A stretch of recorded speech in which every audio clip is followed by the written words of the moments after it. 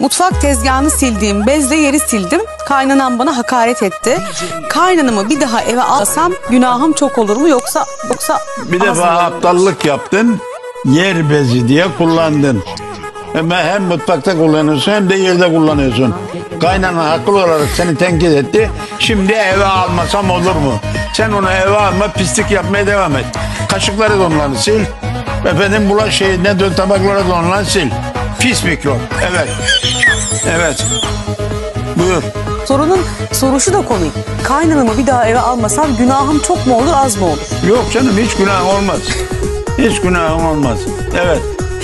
Mutfak tezgahını sildiği bezle yerleri siliyor. Aman Allah'ım ya Rabbi.